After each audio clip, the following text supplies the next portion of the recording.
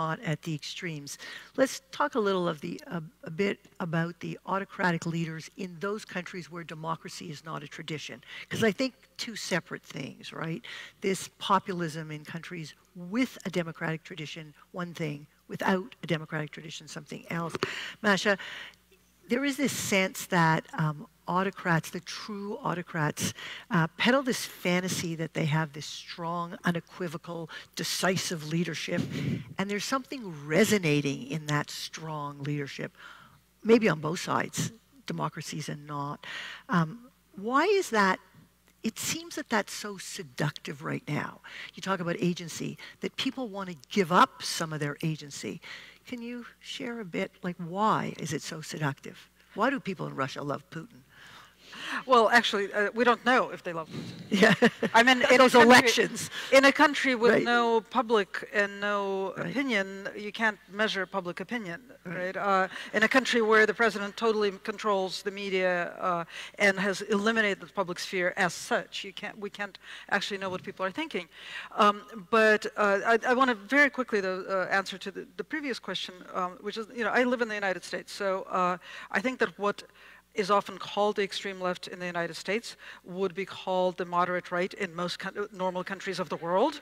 So uh, I, I, I, kind of, uh, you know, from my point of view, um, there's in, in that question there's more of a false equivalency than there is uh, of, of an actual issue, right? Um, but um, as for autocrats and their appeal, um, the, the great social psychologist Erich Fromm wrote a book called Escape from Freedom. I highly recommend it. It's a very slim book. It's extremely readable, and I think it's amazingly illuminating. Uh, in the introduction to the book, he actually apologizes for writing it so hastily. Um, he says it's a little sloppy because he was in a hurry because he felt that the world is on the verge of catastrophe. The, that introduction is written in 1940. Right? Uh, but in the book, uh, he proposes that there are certain times uh, in, in human history when people, um, that there are two kinds of freedom. There's freedom from and freedom to. Freedom from is we all want our parents to stop telling us what to do. We all want the freedom from. Freedom to is the freedom to act, the freedom to invent your future. And it's a grave responsibility, and sometimes it gets to be too much. And when the future is truly uncertain, when people feel destabilized, when a critical mass of people feel like they don't know what's going to happen, um, then they will reach for what he calls the magic helper.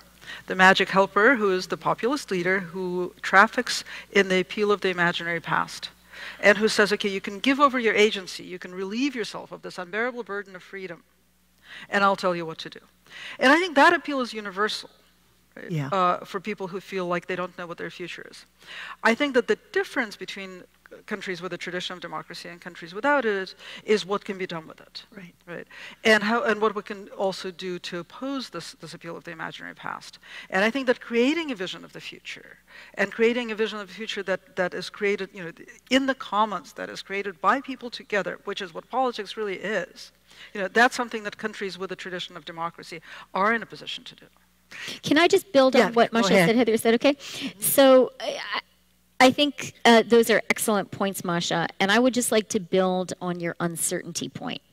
Because I really believe uh, that, particularly in sort of the industrialized West, this concern about the future and sense of uncertainty about the future, particularly when it comes to the economy, um, is extremely powerful. And it's real. Um, it's not sort of a, a fake concern. People are worried because there's something to worry about. I was recently talking with uh, the CEO of a big Canadian transport company, and I won't name him because I didn't tell him that I would mention his story today. Um, and he was talking to me about how they have a big shortage of truck drivers.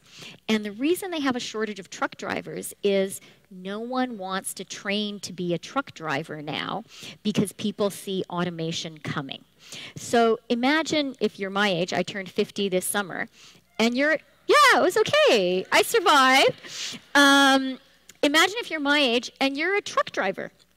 Um, my uncle was a truck driver, and you know you're a truck driver, and you see this wave of automation coming, and you think to yourself like will my job last long enough for me to retire? That that is not some kind of amorphous anxiety. That is very real economic anxiety.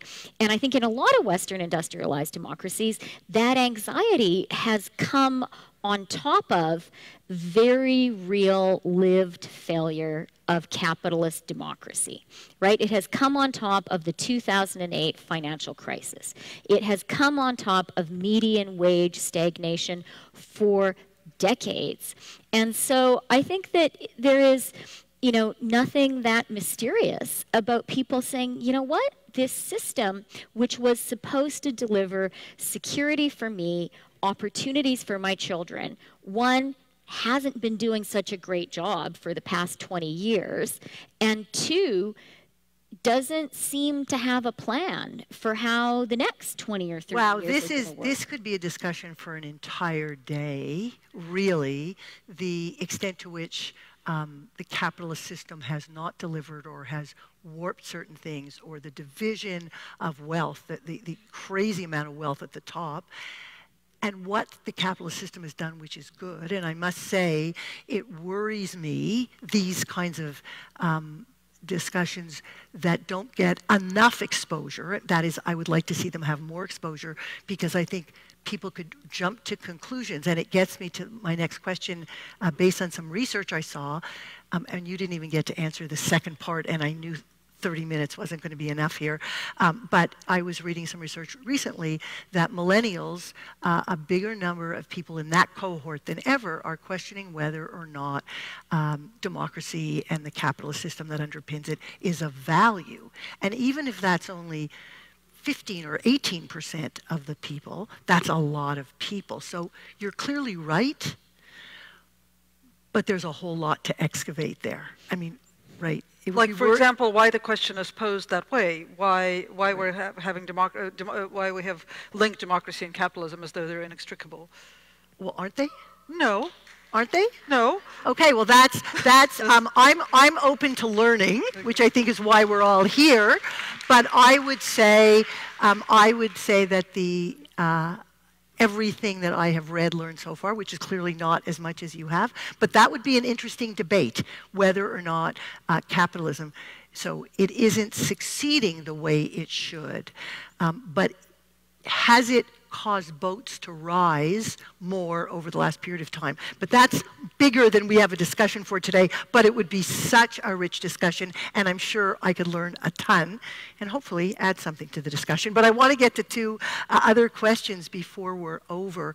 Um, the immigration issue which is so significant and which feels so much like it needs to be addressed, and the the more tyrannical leaders, in, whether in democratic countries or not, seem the most unlikely to embrace, understand, have empathy for those who have become immigrants, often fleeing the most ridiculous circumstances. You've been incredible. Can you each comment a little bit? I'm, we're left with two minutes and I've got a thousand, but would you each comment on just your, your thoughts on how are we going to address this immigrant uh, legitimate opportunity with the current leadership in so many countries. Okay, I'll, I'll say two points really quickly because we don't have a lot of time. Um, I just want to start, and it does have an immigrant connection, Heather, with this economic point we were making. Yeah, yeah. Um, and, you know, I want to be clear. Like, I think a market economy is the best way people have figured out how to run economies so far. Uh, but I think that if we are worried, and I think we should be, about liberal democracy, we have to be really worried about how people in the middle class and people working hard of in the course. middle class fare. And if we don't address And at the that bottom. very legitimate economic insecurity, all our other values are going to be in jeopardy. And I think it is very much connected with the anti immigrant sentiment we're seeing in a lot of places. Because I think when people feel insecure about their lives, uh, it goes back to Masha's point about looking for magical solutions, looking for magical leaders, and looking for magical enemies. And it's always easiest to blame the other. It's easiest to blame the other country. It's easiest to blame the person who has just arrived. And, you know, I obviously think that's not right. And, you know, knock on wood, uh, we seem in Canada still to have a strong public consensus around the value to our country of being welcoming to immigrants. And I, yeah, it's great, isn't it? I want to. And I, I, Chrystia, I'll, t- I'll wa- say one sentence, Heather, super fast. Can I just say one second sentence really fast? I- okay. I- and so, why is that a good thing? One, for me, it's consistent with my values. I love living in our super diverse city of Toronto. You may not know, Masha, 50% of the people in Toronto are born outside Canada. Isn't that amazing? Um, but it's also a huge competitive advantage for our country. We are going to be a country which can continue to grow, can continue to thrive, partly because we remain an open society. And I think that's great. Just And I agree with you, by the way, that we need to deal with not just the middle, but the bottom. But go, go. So very, very quickly, uh, I'm just going to skip the problem and go immediately to the solution. Right. Uh, I think we have to stop uh, uh, allowing ourselves to get, uh, to be. Uh, to, we, we stop. Uh, we have to stop allowing hate to frame uh, the immigration debate, which we in the United States are really stuck in. And we, and the counter argument has to be much bigger than the immigrants are good for the economy or immigrants are good people. The counter argument has to be based on non-immigrants being good people. We have to be open. Uh, we, we have to, uh, to, to have our country open to other people, not because they're good, but because we're good. Because that is a basic That's right. attribute of humanity. So- That's excellent. Uh, I have to say we couldn't have be we couldn't end on, on a note that is um, more joyous because this is at its core, isn't it, about our basic humanity and our empathy and our ability to approach life that way.